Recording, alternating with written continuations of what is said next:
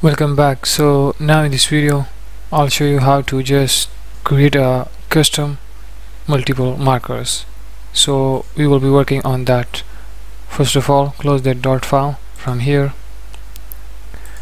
And we will go towards the lib create a new directory by the name custom markers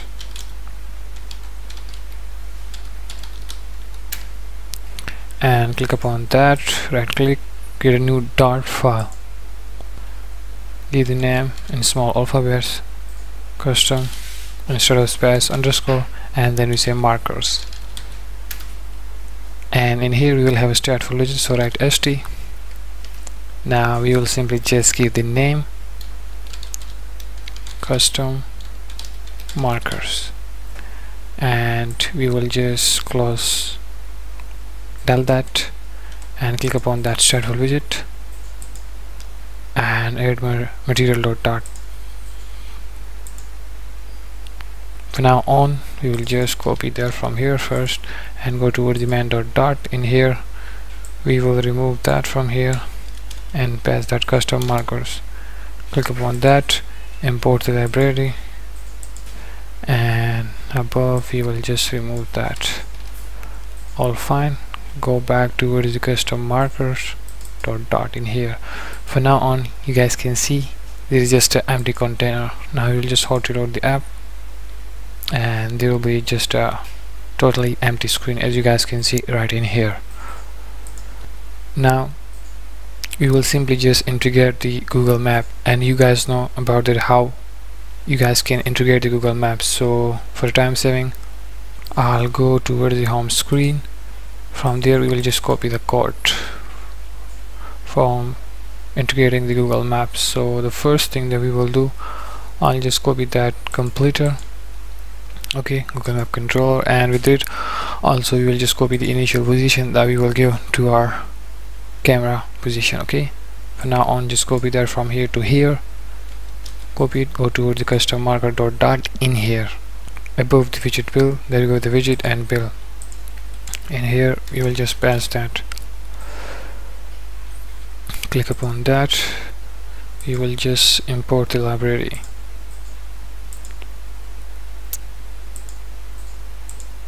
Okay I'll just find now go back to the home screen dot dart. In here also we will copy that marker the array. Copy that from here. Go to the custom marker dot dart. Below in here above the widget build paste it now go back towards the my home screen dot dart we will just go down. And in here I'll just copy that safe area okay? So copy that from here to here. Go to the custom marker dot dart in here we will just remove that and we will have a scaffold widget in here. And in there we'll paste the remaining code there we go as you guys can see. Now just press the control S or just hot reload the app. You guys will notice the Google map. There we go. Okay. And that's our initial position target area okay? Here we are and I have already explained this in detail right in the previous videos at so many places. So there is no need of doing it again. We will just move forward. Now for custom marker we will just download some images right in the PNG format. So open the browser and in here as you guys can see search for this flat icon. There we go. Open that first one flat icon here we are. Search for here cars and you guys will see a multiple cars right in here. Okay? Select any of the car and then search for bikes cycles anything that you want.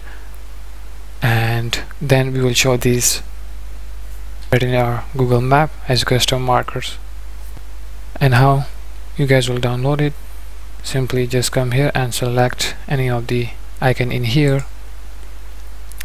Okay tap on it it will just get you right here and then click on this png you guys can see that. Click upon it and you guys can see that free download.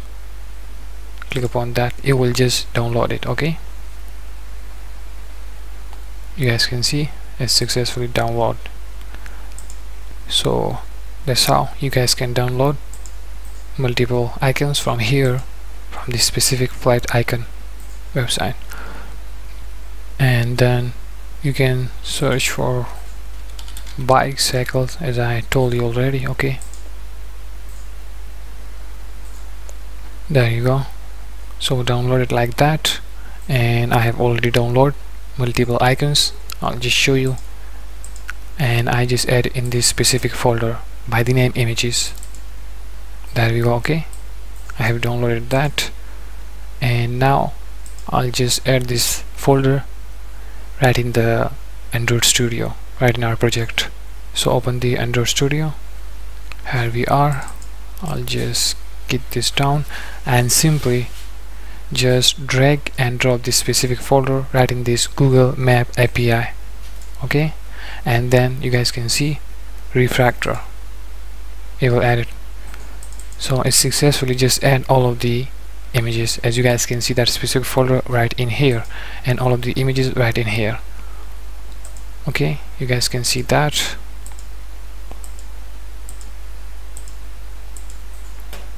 And we will close that now I'll just go towards the pubspec.yaml and we will just add the path for this specific icons. Images folder go towards the pubspec.yaml and scroll down. From here we will just remove that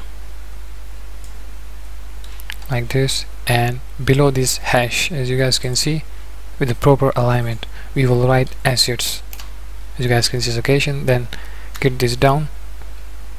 And remember with the acid second as that one. With it we will just add the dash like that and then we say images. Because all of the icons that we just added right in this images folder. So we'll say and provide the specific path images and then one by one we will add all of the images like that. So images then slash and the first name was 1.png and you guys can see that right in here. Images 1.png in a proper format like that. So it's seven images. I'll just copy this and paste it like that. Remove that and let me just copy that. Enter paste it enter paste it. Fourth fifth sixth seven. Now what I'll do I'll just change this specific digit. So it's gonna be second.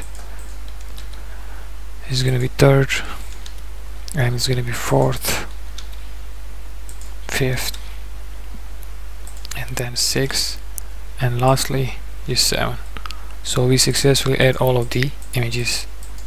Okay? Like that. It's gonna just import and edit in our project and then we will use it for the custom markers. And make sure edit in a proper alignment and format like that like I did. Now we will go and just click upon that pub get. It will add it to our project get done. Now close that and get the dependencies first. All just done. Now you can ignore it simply and we'll just close that. Also we will close that my home screen dot dart from here and we'll go towards custom marker dot dart file in here again. Now what I'll do I'll just create a list by the name images okay? So in there there will be an error and we will just add all of the image by the specific path that we added in pubspec.yaml okay? So what I'll do above in here we'll say list. It's gonna be string type. And we'll give the name as file image images. And in here array edit and semicolon and take this down from here. Now we will just edit one by one. As I told you already like that copy that from here like that. Close it. Back again in here. In here just with the string. First edit and comma and in here pass the path like that we will just copy that from here copy it and and here paste it for the second third fourth fifth sixth seventh. Now just change the name.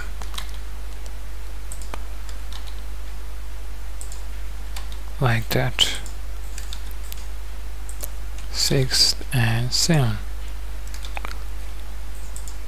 we will just change the name and make it more simple. So what I'll do I'll just remove that from here and make that simple.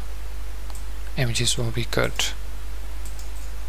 Now right after that as I told you already we will just use those specific images icon as our custom markers in our map. So now we will just choose the latitude and longitude for every specific icon image right in here. So it's going to be for example one here the car one the cycle will be here and so on like that in the map. So we have to just provide the latitude and longitude for the specific images icon. So for that specific purpose what I'll do I'll just add a or let's say create a list for that specific lat and longitude. So in here we'll say final is going to be non-changeable. And then we say list. As I told you okay it's gonna be for latitude and longitude. And just gonna give let long. For images. And that is fine. Now what I'll do in here we'll just say lat long okay. And then in here bracket write it and semicolon and it's gonna be array because we're gonna have multiple lat and long okay? Now in here we'll say lat long. We will provide that specific latitude and longitude. In here comma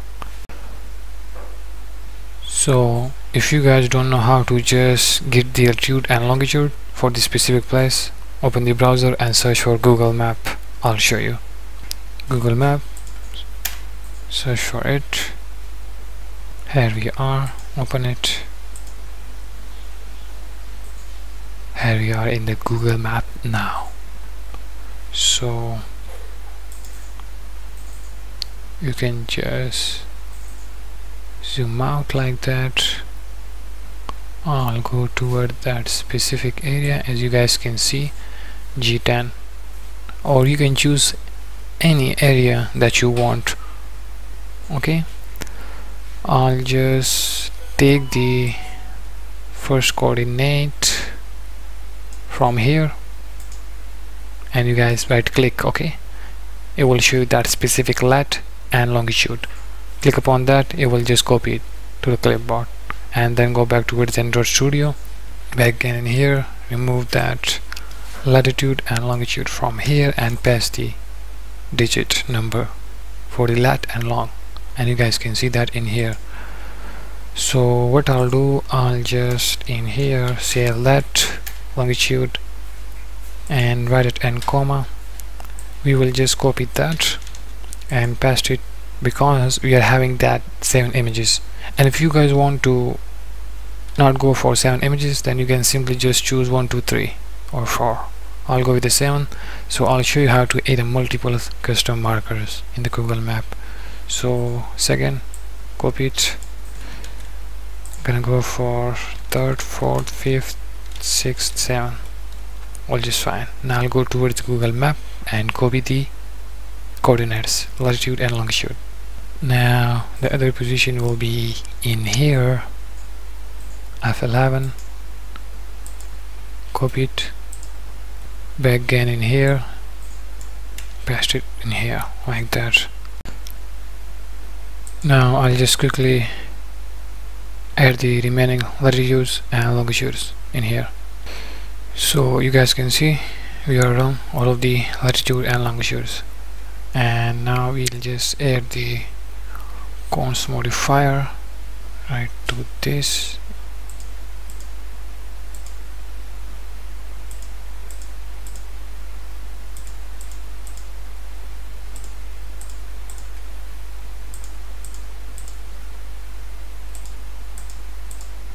So then the line will be gone. You guys can see that. So we have successfully just add images right in here the path and also we just add the specific latitude and longitude for this specific images. So that's it for this video. Right from the next video we will just implement the code and show the custom markers right on the Google map. On the specific position that we choose from the location right on the Google map. So see ya in the next one